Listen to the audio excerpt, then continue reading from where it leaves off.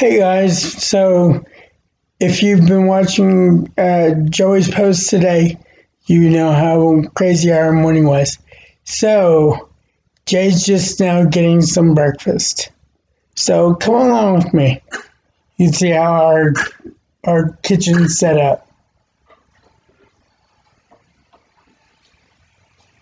I had my girl Ashley get our donuts because they weren't in the best spot for us. So let's see what we've got here.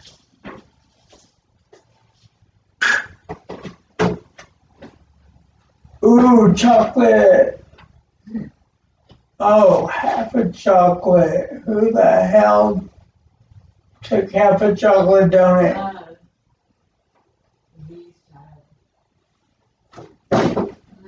Okay. Not good, B. Stole your donut. Not cool. I'm coming to help you, okay? Okay. I gotta switch my glasses.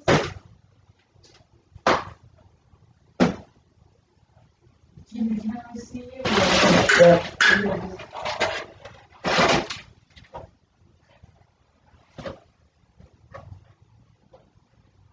So maybe this wasn't the best idea to put it on the stove. It's alright. We'll make do.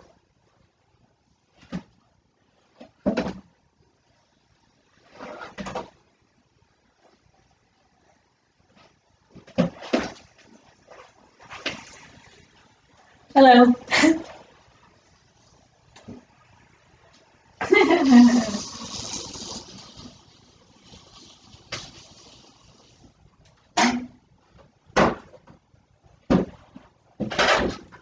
get the other one, okay? Mhm.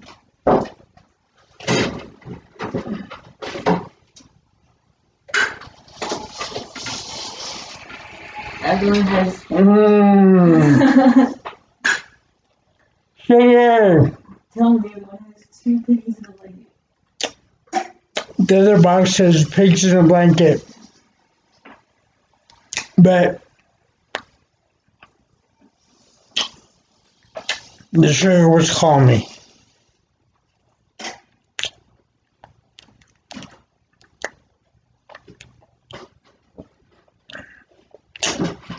And now I'm starting to feel human again. Even though you have not had your coffee yet. Coffee's coming up next. And then we'll talk about what I wanted to talk about.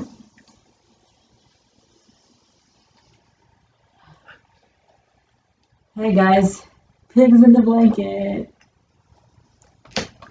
Oh.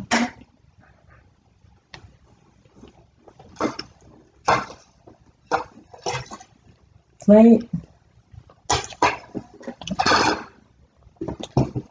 There's actually three left. I thought there was two left. Yeah. So, if I can just relax my hands, it seems like I'm a little excited and jumpy and try to do everything at once, and then that's when you drop stuff. So, sometimes you just gotta take it a little bit slower, although that means you'll be eating a stick or two later. Two or three. And obviously, you can see I didn't care about the plate because, uh, yeah, Well, I'm feeding my face already. Let's see what happens for a second. um, you can put them all if you think we'll kill them. I didn't even eat breakfast either. I did that Oh, no. walk in there. Yeah, I, I just I had coffee. I took my vitamins, and that's all I did. No breakfast. That's what kind of. We're kind of running on autopilot, I think. Yeah, guys, you're you're watching this reload because this is today was a hellified morning, but thanks to Sybil and Samantha for helping us out because I can't reach the garbage.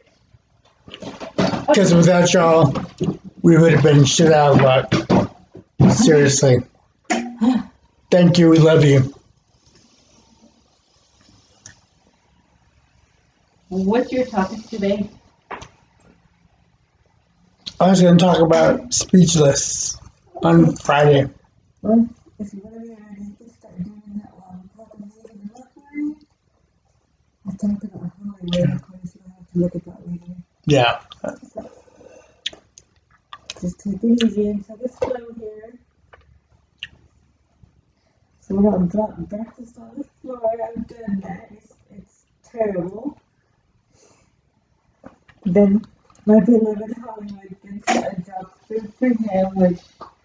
which no, I did not do. But Our beloved Hollywood that decided to take a leak on the floor this morning and made Joey have to go clean it up and jack up her knee.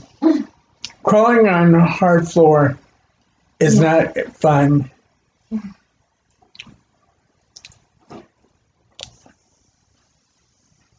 that's why then because he gets scared. I feel like when, when my phone went off, he got scared Mhm. and he jumped off the bed, and that's when he did it. I don't know, but that's what I think.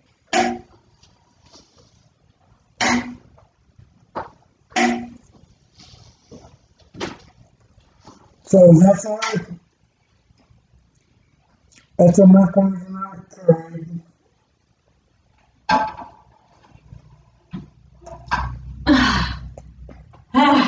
It's no bit of a stress. It's, it's more of a stress for me because I'm still here to enjoy it. So keep going out there. Um,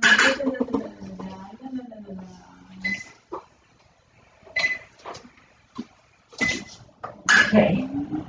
Yeah. Okay. So yeah, why don't you go talk about your your over there in a few seconds. Take a shake this close. I just want chill out for just a second here. Mm-hmm. Mm-hmm. Mm-hmm. to get me another bottle, because this one's almost done. Okay. Just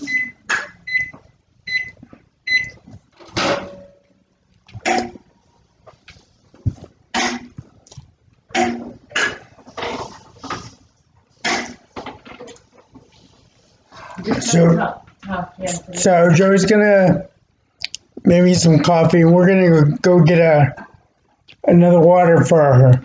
Come with me.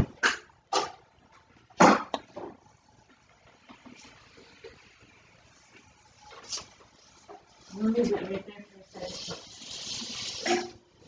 You can look at, show her, you open it, and just take a sip, give me.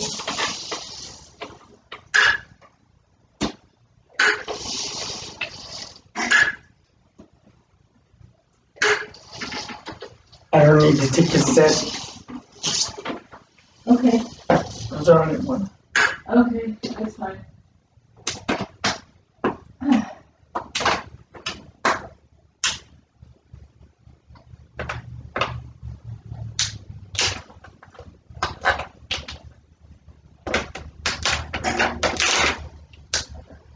just stick it over there and then.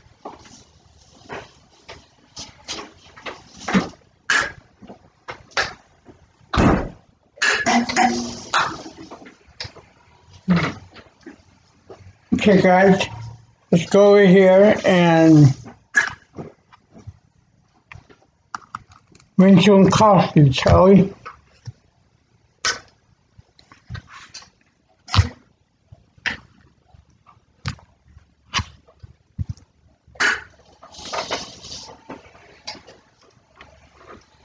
Yeah, there isn't enough in that one.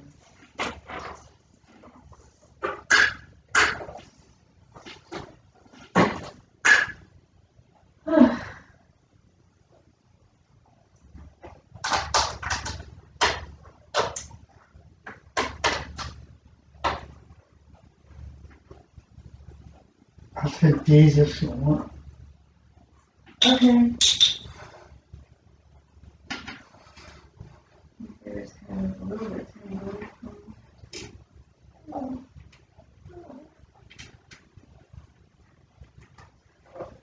Okay.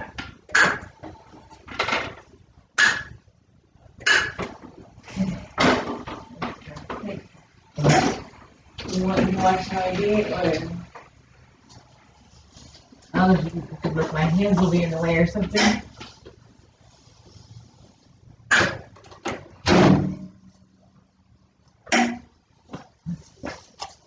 I'll put the pigs, pigs in the blanket down. And Jay will be making, it's kind of she makes the coffee. But what I wanted to talk to you guys about was um, about Speechless on Friday. Now, it was actually pretty cute. JJ was, and Maya were at a at a store, and just JJ and Kenneth were minding their own, doing their own thing, and Maya on her I've got to be better kick decides to volunteer JJ to be a role model. Well, I can vouch for him. At 18, I really didn't care to be a role model to anybody else, much less another crib. Um, because I'm still trying to figure myself out. I mean, hell, you're 18. You're in your last year of school. You're just trying to get your your legs under you, and What kind do you want? uh, caramel. Okay. And so,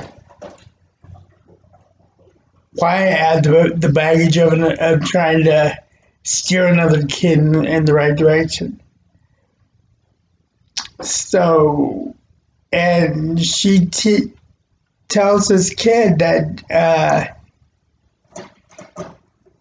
JJ's a world renowned comedian because this kid wants to be a comedian. Well, his jokes are they're cute, but they're kind of juvenile in that they're all wheelchair jokes. Um, which is fun. I mean, we, hell, Joey and I make fun of ourselves all the time, just because that's just what you do. But his were the kind that were like essentially why did why does the wheelchair cross the road kind of jokes and there you know so those are they're cute from the kid standpoint but when if you're gonna be a stand-up comedian that's gonna get old quickly. And of course jj he doesn't speak. He uses his uh, his word board.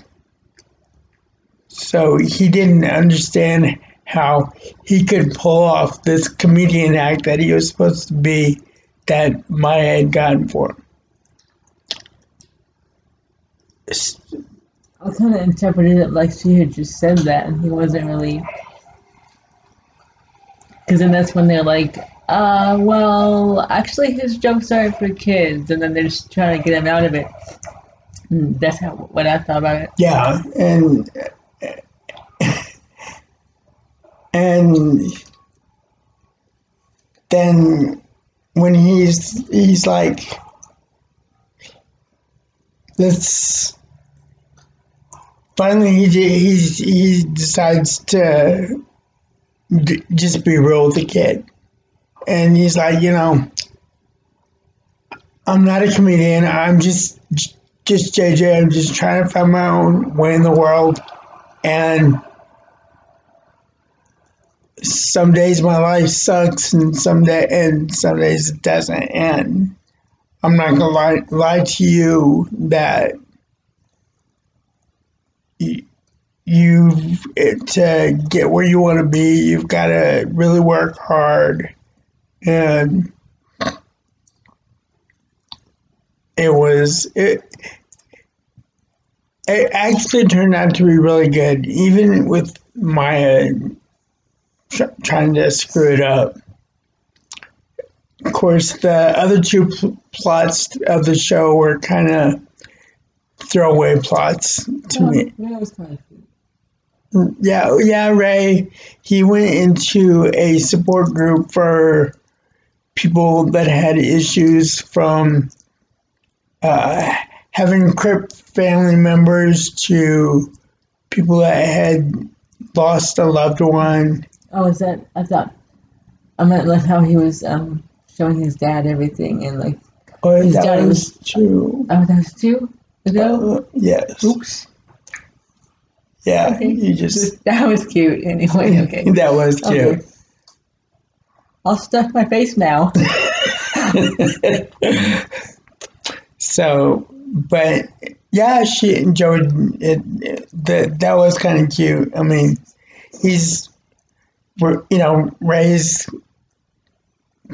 It's the nerdy, oh, uh, nerdy younger brother, and he's trying to find his way, trying to get good with the girls and everything, and royally screwing up at every turn just because he's so awkward. He's like he's like the awkward that JJ is because JJ is a crip and is trying to learn how to get around that and but JJ is cool because he can talk to people and he knows how to talk to people. Um, and then Dylan, who's the youngest of the of all of them, she is she thinks she's a badass and she always has to be brought back down off her pedestal to uh, know where she is in the grand scheme of things. But overall, I liked the whole thing with JJ um, embracing the whole role model thing. the reason why I embrace it is because um, is because that's what we're here for. We started this whole thing to be a role model for Crips or anybody who feels Left out. left out or out of place or uh, like Joey said in one of her other vlogs, a mutant. Um, so I really enjoyed that that uh, part of the episode. And like I said yesterday in in your our your story vlog, everybody has a story. Everybody deserves to be heard for something or another. You've got something to offer. So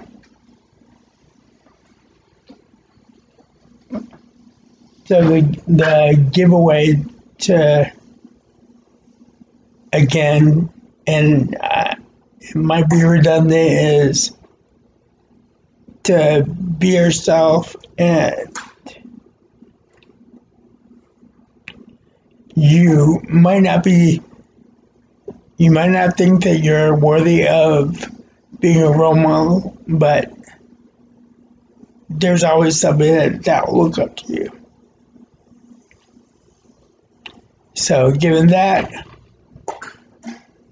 I'm going to finish my breakfast and have my coffee, and I will talk to you guys later and be good to yourself, be good to each other.